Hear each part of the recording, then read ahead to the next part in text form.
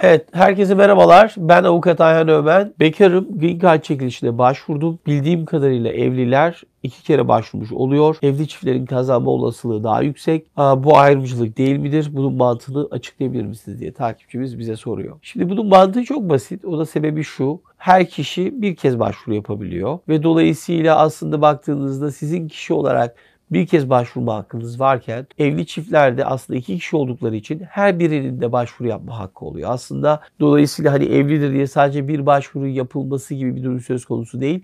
Dolayısıyla her birey bir kez başvuru yapıldığı için herhangi bir ayrımcılık ya da bir haksızlık durumu görünmüyor. Çünkü öbür türlü baktığınızda eğer bir tane sadece kullanabiliyorsalar o zaman iki kişi evli olmuş olması onların bir kez sadece başvuru yapabileceğini gösteriyor bir bireyin. Bu açıdan baktığımızda da maalesef kural bu şekilde olduğu için evli çiftler, evliler diye değil ama her birey bir kez başvuru yapabilir diye orada iki başvuru durumu oluşuyor deyip takipçimizin sorusunu cevaplamış olalım.